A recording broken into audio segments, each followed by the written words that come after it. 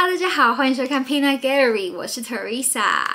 很荣幸的，我在今年的三月准备前往巴黎的 EFAP 做交换。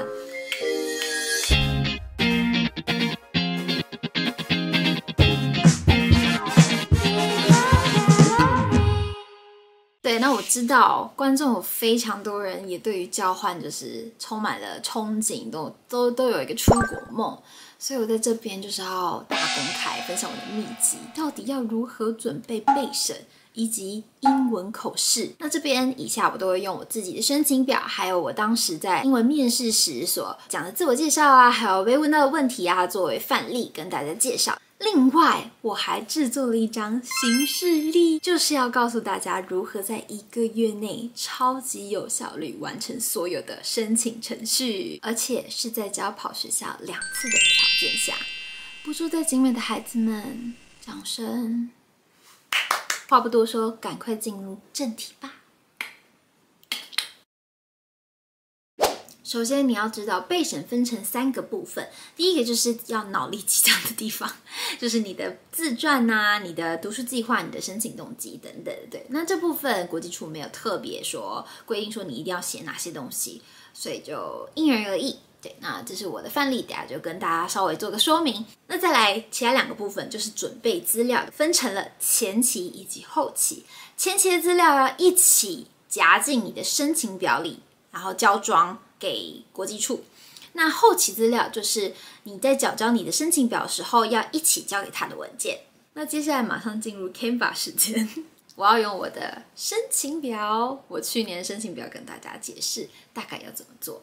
OK，我现在已经打开我的 Canva 了，映入眼帘的就是我的备审资料。好，可以看到总共有二十一页。那学校规定是说十七到二十二页，有些人可能我后面还会再加一些奖状之类的。我先来跟大家讲个概述，可以看到说第一页是我们的封面。对，然后这个封面是大家都一样，就是附来申请表。再就是呃，可以说是我自传的一个首图。那这个可有可无。再就是目录的部分，就是你后面做了什么，然后放在第几页可以有的。对，然后再就是自传。那我自传的部分就有了四页。对，你不要看这下面这个小字，不重要。然后再就是申请动机，申请动机就是一页。那再就是读书计划，也是一页。我接着就可以看到这个是英文版本的首图。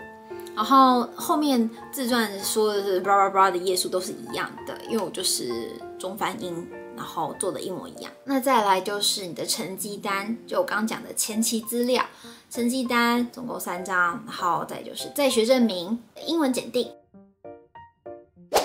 我的内文就不给大家一一阅读，但是我就稍微讲一下我大概是怎么排版的这样。好，可以看到我总共有四张是自传，我的撰写方式是依照时间序，对，就分别有我的童年时期，然后我的国中小时期，跟高中时期，还有大学时期，跟最后一张这个我是写呃校外参与，还有社会关怀，对，因为我在这方面就是呃比较有成绩一点，所以我就把我曾经做过的。卓越的事情拿出来独立成一张，对，因为看了这么多废话，我觉得主审官他们会喜欢看到一个比较有亮点的东西。申请动机就是，呃，一开始你可以先写一个导言，然后后面再写两大动机是什么。像我就是把它用了两个小标，一个是体验生活，一个是选校原因。选校原因就会比较重要了，对，因为有这么多学校可以选，有这么多国家可以选。同样是旅游，到哪里都还不错。那你为什么最终选择这一间？对，所以你要把这件事情给讲的具体化一点。所以我就提到说，他的两项课程是非常吸引我的。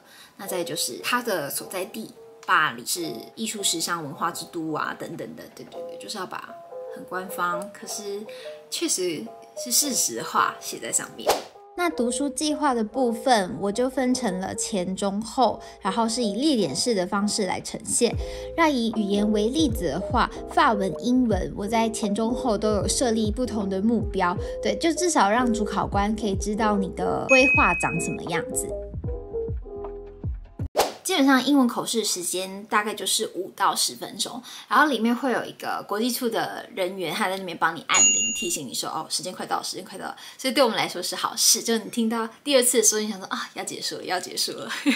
装上面的话，就是看起来体面，然后有一点点微正式就好，这也不需要一定要穿高跟鞋、皮鞋啊，或是衬衫、领带之类的。那基本上面试就是分成两个部分，第一个就是自我介绍，大概一分钟；那第二个就是三个主审官分别问你问题。对，那我那时候是遇到一个外师跟两个台湾的老师，这样。好的，那接下来就进入我当时怎么面试的一个流程。一开始。我跟我的其他 p i n a g a r y 的伙伴，就是在国际处外面等，然后那边有座位，然后就是大家都挤在那边，因为他们一直 delay，一直 delay，一直 delay，反正就是会有个国际处的人员出来叫你进去，然后你进去的时候要非常有礼貌的 Good afternoon, professors 一下，然后坐得很端正。然后这时就有个教授请我自我介绍，并说出你想去交换的两个理由。就这么刚好的自我介绍就被我赛中，因为你知道每个人一开始都会先练一下自己的自我介绍嘛，但有些人的内容并没有提到他的申请动机，但是我就刚好有，而且我还讲了两，所以我超级有自信，我讲的超顺超溜，因为我背的很熟，我知道说自我介绍。绝对是他的第一印象，我一定要把这个把持住，尤其是在我可以背熟的状况下。好，那我现在就要来跟大家示范一下，我当下是怎么讲我的自我介绍。但是因为已经隔了点久了，所以我现在有点难把它背下来，所以我可能会看一下小抄，那大家就是不要太苛刻，OK？Good afternoon, my name is Teresa. My major is radio, television, and film, and I also minor in journalism. I'm an energetic person. I love explore new things and culture and make new friends, etc. Um, there are two main reasons why I choose EFAP for exchange. One is that this school provides two courses that attract me, what are fashion communication and French lessons. The other reason is that EFAP sits right in the most prosperous area in Paris. As a visitor, I could spend a whole semester there learning French and their culture and visit Louvre, Cathedral, and the like. If I am admit, these memories definitely will be wonderful and enduring in my life. I've already look forward uh, to the journey in EFAP and Paris. La vie est belle. Thank you. 我一讲完就是露出超级超级官方的微笑。然后当时就是空气先凝结三十秒，我想说，呃，为什么大家都不讲话？然后这时候主考官们就开始互看，对，然后其中一个就开始说，哦，你讲的很像在演讲，诶，就是你怎么练你的自我介绍的？对，然后我当下真的想说，哈，这跟交换有关吗？就是他就纯粹要跟我聊天，你知道吗？我光是讲我怎么练自我介绍就讲了。一两分钟吧，所以前前后后三分钟就已经过去了。后来他只问我两个问题，因为时间真的不够。那第二个问题就是中间的考主主考官他就问我说：“嗯，那你为什么会想去 EFAP 交换呢？怎么查到这些课程的？课程不就是都在网站上吗？”当下我真的是超级难回答，所以我就是再重申了一下我的申请动机。那在最后一个主考官就是那个外师，他就问我说：“那你觉得你交换完可以为台湾带回什么？”啊，真的还蛮难的，对。然后我其实有点后悔，我觉得我当下应该要讲，因为我是在做 YouTube 频道嘛，那我就要说，我可能可以在那边拍很多影片啊，然后在台湾有想去交换的人，他们可以借我的影片来认识那个国家跟交换制度等等的。反正我觉得那题是打的超烂，让我超级心虚。但是此时此刻，叮，那个铃就响了，我就离开了。对，那我离开时真的是心虚到不行，想说完了完了完了，我毁了整场面试。但谁料最后我的面试成绩竟然是第一名，所以你知道这代表什么吗？就是你的自我介绍真的是重要到不行。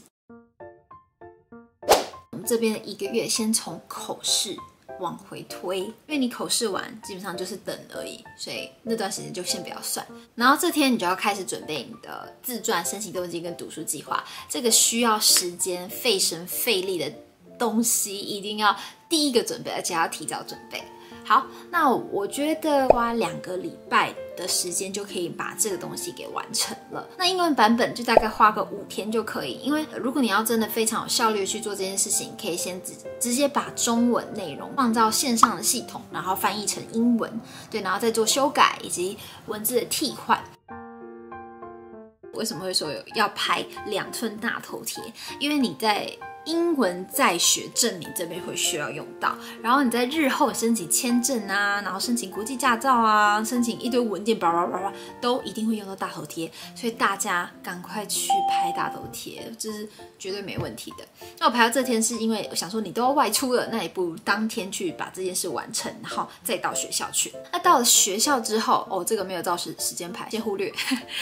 好，但确实我们要先去影印店去列印你的赴外申请表。就是你已经在电脑上打好的封面图，要把你的大头贴贴上去，到细版去盖章。那再来，你就要去教务处去申请你的英文成绩单以及英文在学证明。那今天就差不多这样结束了。那为什么会要你这么早就一定要去申请这些文件呢？是因为英文成绩单以及在学证明一定要通过教务处那边申请，那他们需要三到四天的工作时间，而且不含假日。所以礼拜一去的话，礼拜五就保证你一定拿得到。三个月之内没去拿也没关系，所以我们就等他一下，等到下礼拜一就是做最后一次跑件的时候，再一并把它拿走。那马上到礼拜一这一天。就是你领取英文成绩单和在学证明的一天，你领完之后，带着你英文检定成绩单以及你的自传读书计划以及申请动机的电子档一起到影音店，跟他讲说，哦，你这些是要封交，然后是要做交换学生的。OK，那等你所有的资料都影印完，然后也扫描成电子档存在你的电脑后，为什么我说一定要扫描电子档？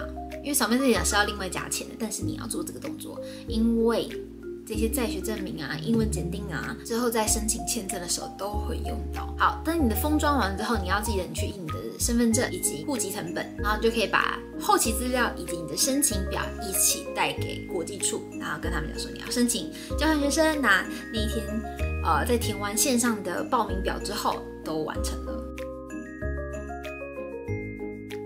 所以再来就是花快一个礼拜的时间来准备你的口试。那我为什么会说只要一个礼拜呢？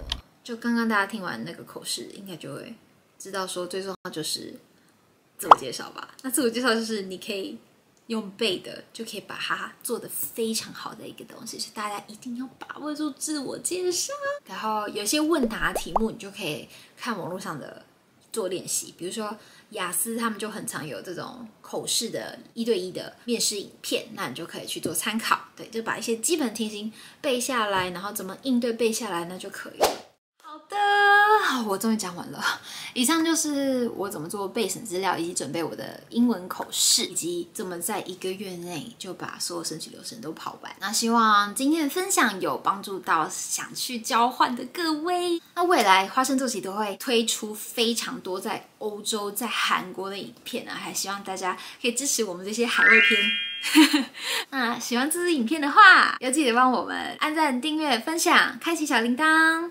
小花生们，我们下次见喽，拜拜。